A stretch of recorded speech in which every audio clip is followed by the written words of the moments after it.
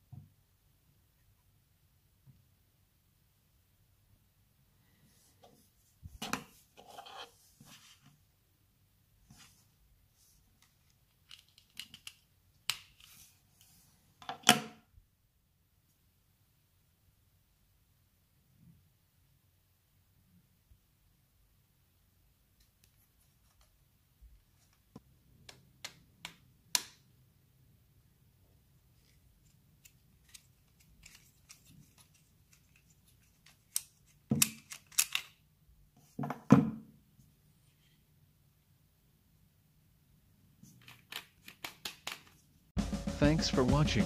Feel free to subscribe to our YouTube channel. Have a great day everyone.